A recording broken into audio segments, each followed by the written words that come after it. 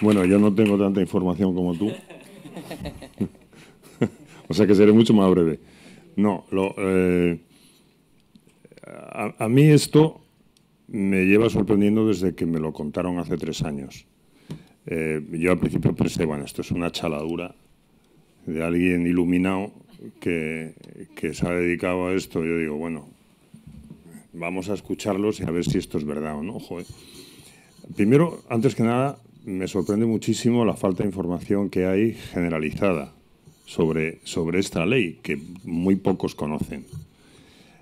Luego, si te pones a pensar y no eres demasiado idiota, te darás cuenta de que los perjudicados por esta ley eh, no querrán que se no, no querrán publicitarla demasiado. Los perjudicados son las entidades financieras. Digo yo que serán los que pretenderán que esto no se sepa, o por lo menos la gente, el gran público, no lo conozca.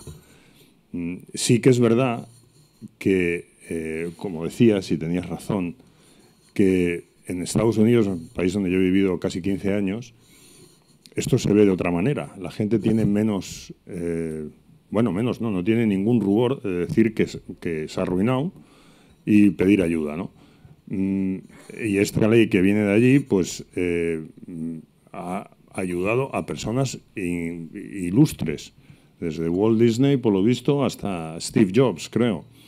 Gente que se ha arruinado, que han fracasado y que después, fíjese dónde han llegado, ¿no? Quiere decir que no es nada eh, peyorativo el decir que has tenido un problema, al revés. Yo creo que si has tenido un problema y lo has superado, todavía demuestras que eres más válido, ¿no? Pero en fin, eso es, mm, supongo que los anglosajones tienen otra manera de ver y aquí mm, nos da mucha más vergüenza. Bueno, eh, el resultado de todo esto es que llevo tres años con ellos viendo casos absolutamente insólitos. Este que habéis puesto antes me parece de lo más, de lo más tierno, porque el tipo, vamos, tú no, eras, no sé quién era, tú eras el que hablabas con él, ¿no? y le decías que enhorabuena, que yo lo hubiera mandado al bar más cercano a que se agarrara un pedo de colores después de que le quitaran la deuda, porque vamos, era para celebrarlo. Y eh, bueno, que esto, mm, yo creo que yo me he empeñado en que esto se sepa y la verdad es que creo que, que hay tantísima gente en una situación como la nuestra, además ahora, después de una crisis tremenda del 2008 y ahora la pandemia y tal, que aquí recibáis 3.000 llamadas de teléfono diarias, también, también te explicas el por qué hay tantísima gente pegada a los teléfonos ahí arriba, que yo ayer me quedé asombrado. Y también te explicas el que cuando yo vine la primera vez estabais todos en un piso y ahora tenéis media, medio edificio vuestro, salvando la notaría.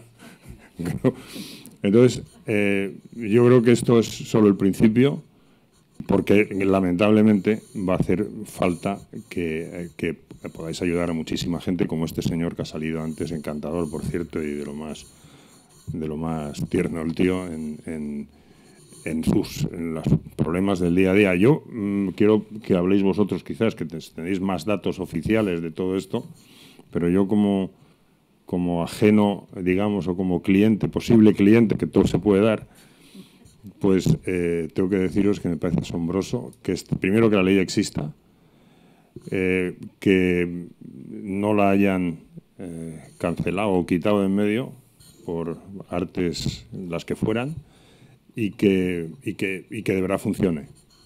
Que conseguir cancelar casi 100 millones de euros en el tiempo que lleváis me parece una cosa absolutamente insólita.